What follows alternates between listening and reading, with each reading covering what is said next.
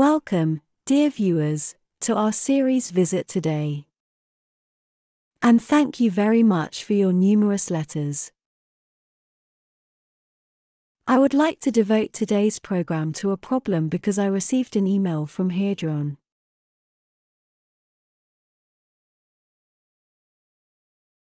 Hadron is 45 years old. Hadron, you have two children, you are a single parent and believe me. I know what that means.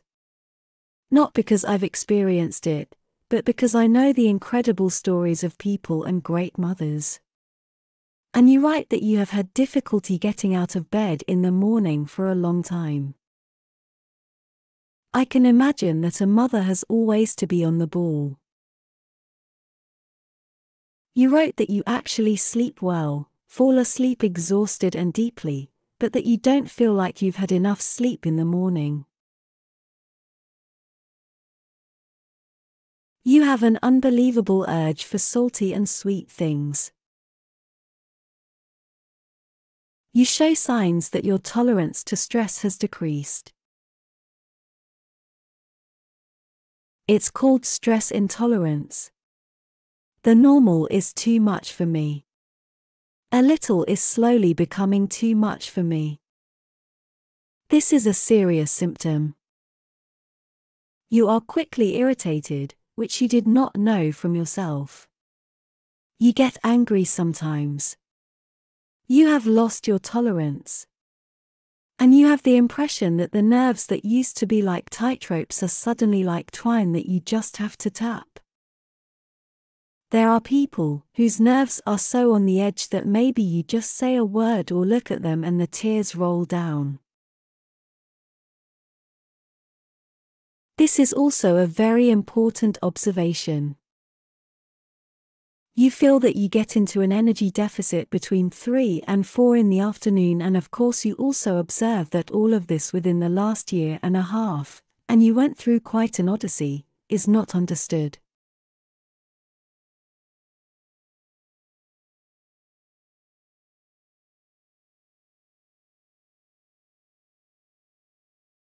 And today you are diagnosed as so called psychosomatically burdened, stress induced. That's no problem at all. But you wonder what can I do? And I have to tell you that we, as doctors, if we don't know something,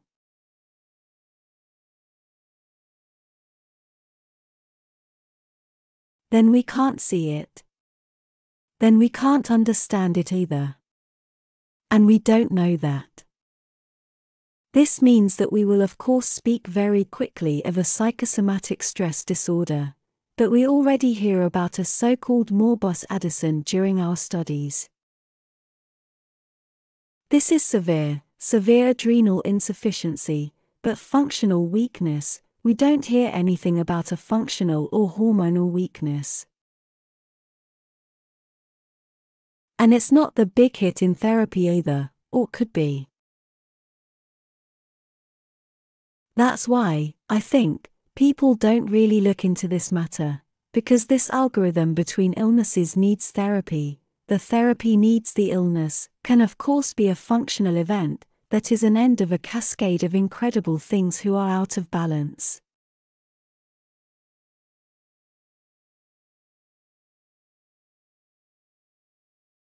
That can't be packed into a normal medical grid. And if you now talk about a so called chronically exhausted or tired, then you should really briefly explain again why we are all hormonally controlled.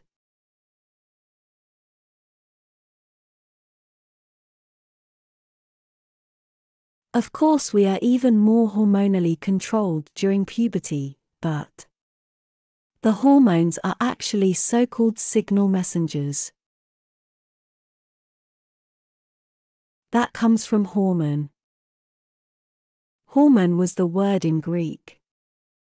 And that means it's the drivers, they are the ones who excite, who activate, but they also break but also do not give the signal for such and such and such a function.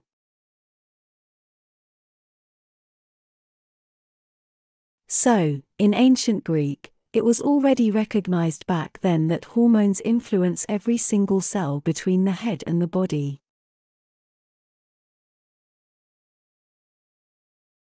And a millionth of a gram in a liter of blood is enough to get this effect.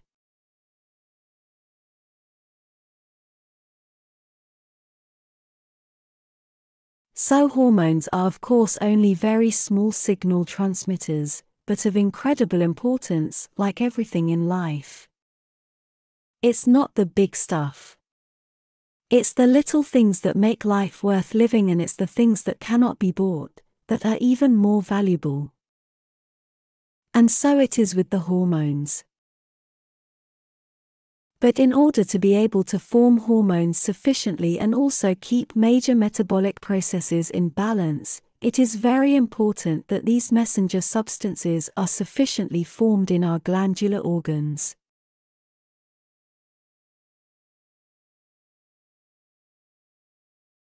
That means, these glandular organs are responsible for always providing what the body needs.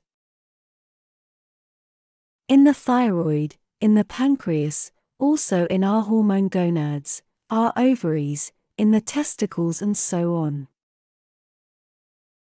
That means it's not 100% constant giving of these signal and messenger substances, but only if, for example, there is a pregnancy, a particularly large amount is produced. If I'm right before the period, I need more progesterone to start my period. Everything is properly controlled down to the last detail. There is one exception. And those are the stress hormones. The stress hormones are produced by the adrenal glands and they have top priority. So, if the body is even close to getting into a stress or fight or flight situation, everything else is no longer interesting, then it produces stress hormones, because of course it has a lot to do with metabolic functions, circulatory functions. Of survival options, the whole sugar metabolism is transferred to the muscles, so I'm in fight flight mode and so on. But it's all coordinated and hormones have a say in how my sleep works, if I'm hungry, if I'm thirsty, in weight regulation, my feelings, my thoughts.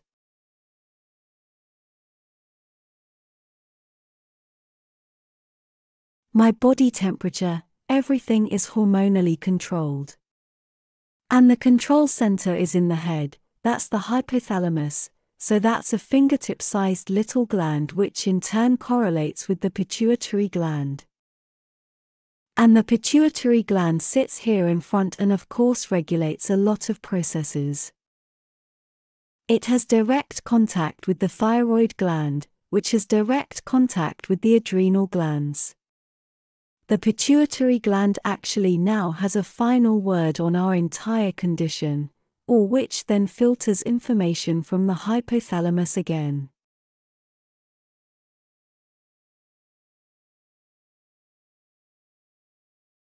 And while the hypothalamus naturally has the position of queen, because it knows everything and it in turn passes on the relevant information, the thyroid is then, of course, a subordinate gland to the thalamus.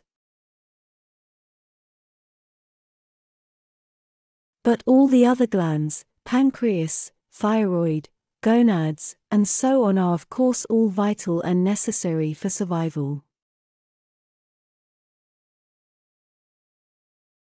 And these symptoms that you have described to me are not the only thing.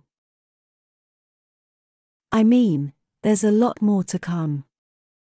My psyche can slip too. I can get depressed. I can also develop depressive moods.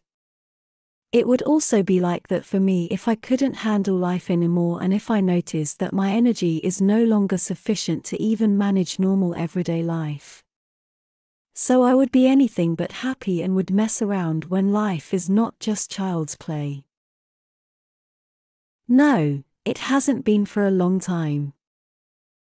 And this feeling of being burned out, to have this loss of energy in the afternoon as well, as you describe. Also, this, I would like to skip a meal, but it is not possible. Then I get so hungry. These are all very important indications, which of course show that you are slowly slipping into an energetic deficit. And now you have to understand that. And now, of course, I would like to explain to you again today what you are now doing on your own, if on the other hand you may not have the support at the moment or what you should do. You can do it yourself and then, of course, ultimately discussing what you should do with a medical colleague. The adrenal glands are almost the smallest glands. They sit like a small polar cap on top of the kidneys and they are responsible of course in the adrenal medulla to produce norepinephrine, also adrenaline. You know, these are our stress hormones. High adrenaline, when I'm riding a roller coaster like this or when I'm waiting for my friend and I'm excited and my heart rate goes over 180. That's adrenaline, so adrenaline isn't controlled by what I really want right now but by the feeling it triggers in me. And a good feeling can also pump up adrenaline. We're talking about eustress, that's something good, something positive. Even an athlete at the starting block will not stand there and say, Oh, if I can do this.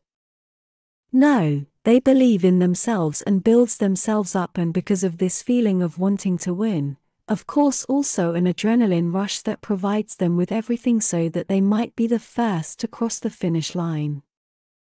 These are all things made by the adrenal glands that are controlled because our feelings perceive it.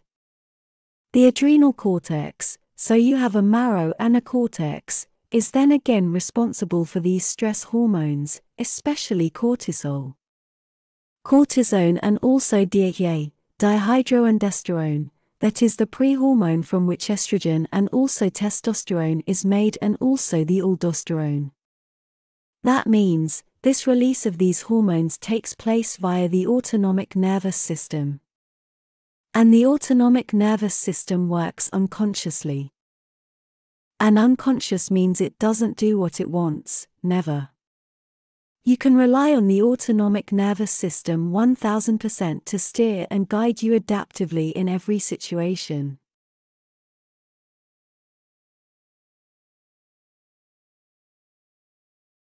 And this is important to understand.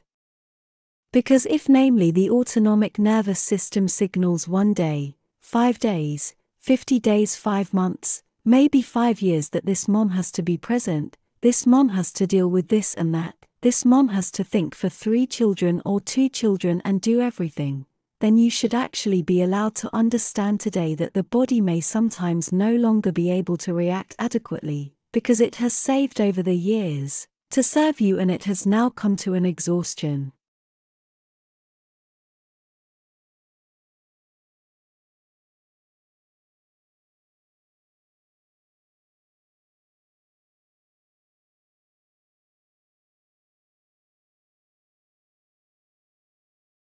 It's not a new disease, it's not a psychosomatic problem, it's quite a problem that affects all areas of my body, but it is something.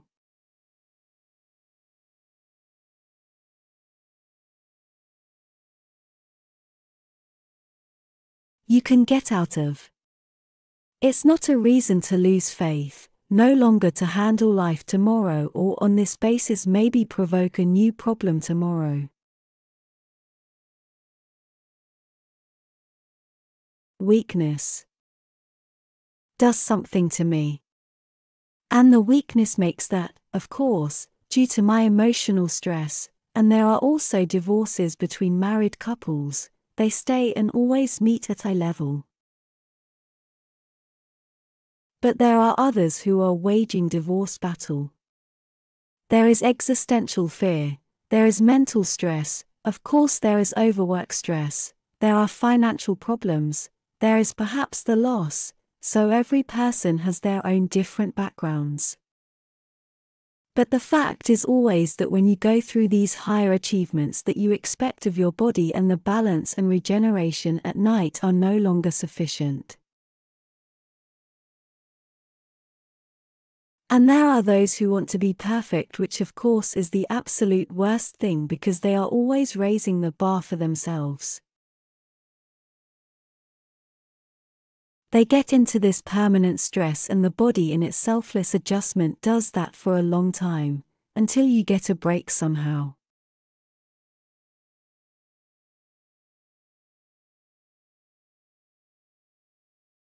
And you got this break, and those who don't get it, they drive it into the wall and are confronted with a terrible diagnosis. So maybe it's all a bit understandable somewhere now, to turn yourself into this loving own hands tomorrow.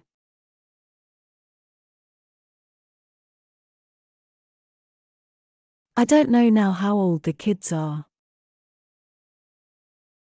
All I know is that you're in your mid 40s. I could imagine that they are in puberty, that there are new time management possibilities. Anyway, I don't want to be allowed to speculate at all. I just want to say that besides these many great mental, psychological factors, of course, we also have really pure stress factors for such processes, such as drinking a lot of coffee now.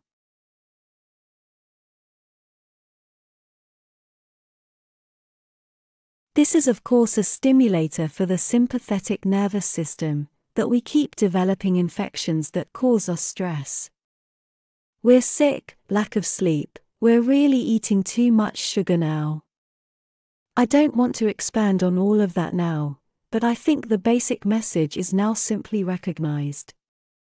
And now it's really important that you center yourself. To understand that you need rest and that you give your body time to pick up its old rhythm again.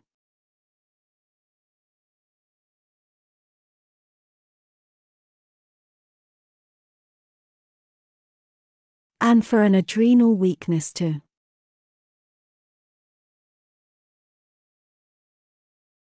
be diagnosed, it may now be important that you arrange a daily cortisol profile. This is a saliva test. That's four to five different saliva samples a day. And both the Ganzimmun laboratory and the Biovis laboratory in Germany can send this shipping set to you. And then you can see exactly how I get up in the morning. So the highest cortisol level is in the morning.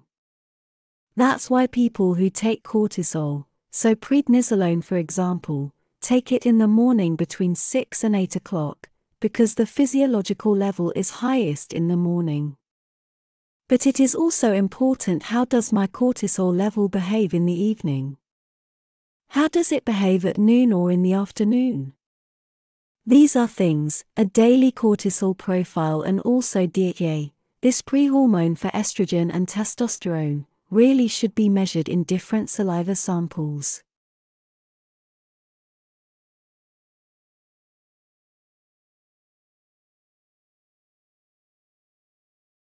These two values have an incredibly large effect in returning you to stability tomorrow.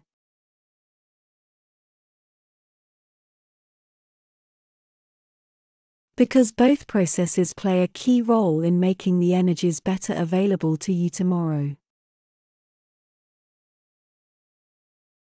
This is, of course, very important from the point of view of the hormone profile.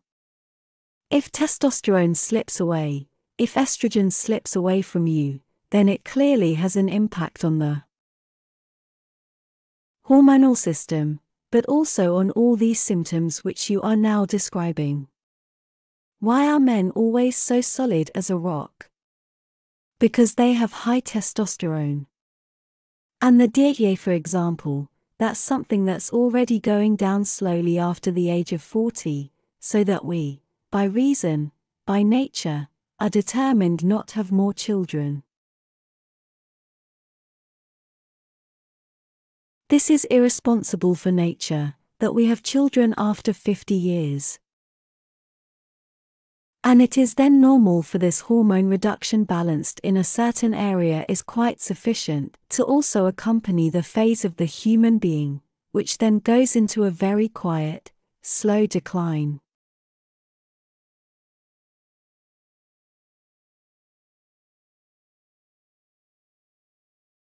Life doesn't invest in the ordeal at all in this phase. Life invests all the strength until offspring is secured. And we have to keep these reserves for tomorrow, today, but we don't have to push them up either. But you've lost the normal.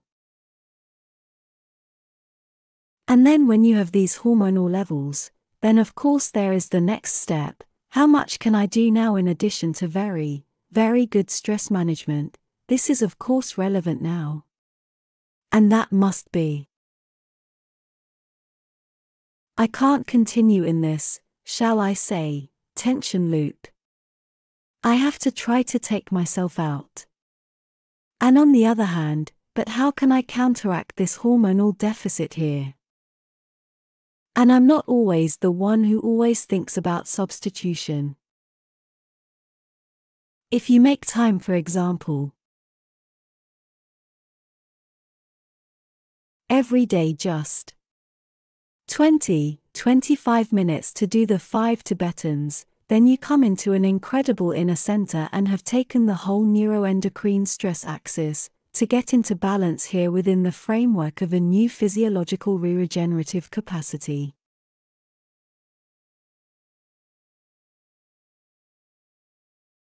It may not be enough at all, but DHEA, I can already build a bridge, which you will immediately notice how these things then also apply to balance your own physical well being.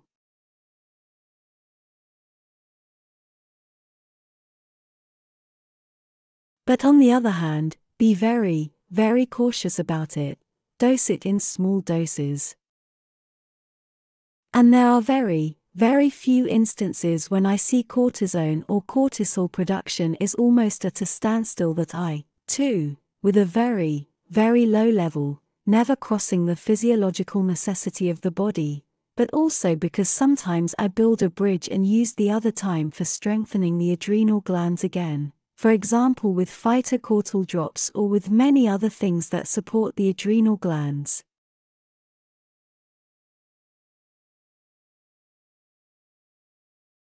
The palette is really incredibly large.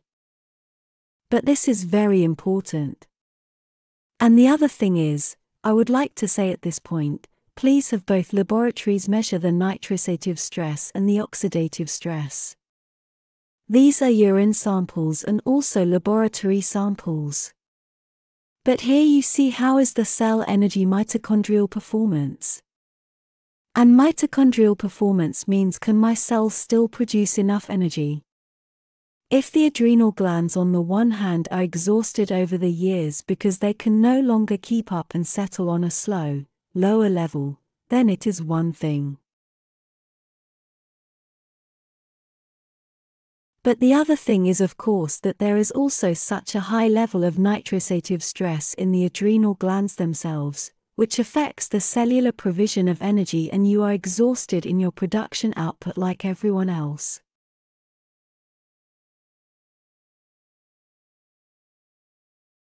And these are all things that can be rolled back, that can be rebuilt. Because you're way, way too young for that and you can get out of this valley of life again tomorrow. I can only give you the way, that maybe when you go to bed at night, have another late snack.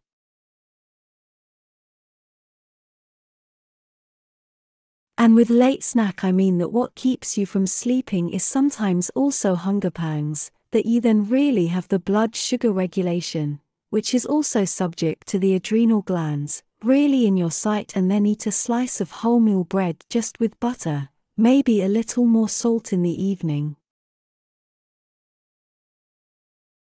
You just get through the day because insulin is the antagonist of cortisol. And when cortisol is depleted and insulin is spiking at the moment, then it's almost like hypoglycemia.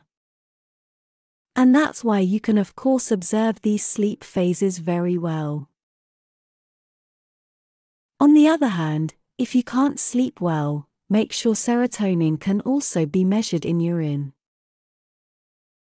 Serotonin becomes melatonin, our main antioxidant, which detoxifies the brain at night.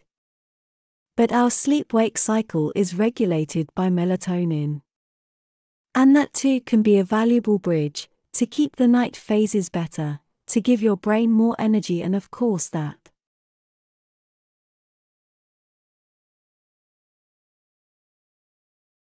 Just balance these things out better. Yes, I hope I could help you a bit with that. This is a big topic. So, just to say burnout, I have only encountered this clinical picture for no more than 12, 13 years, in my opinion.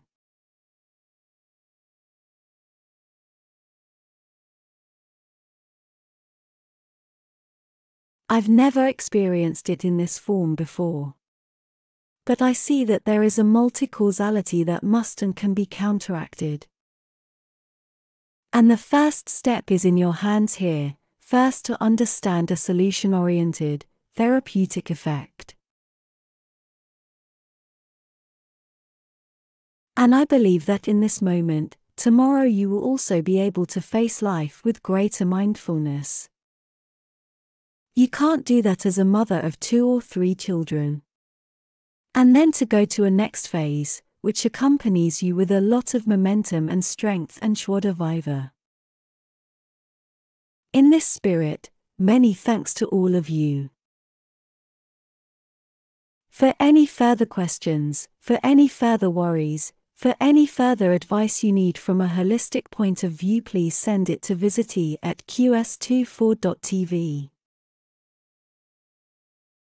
With this in mind, I wish you all a very, very wonderful week, and I am actually already looking forward to the next time. And until then, all the best. Thanks.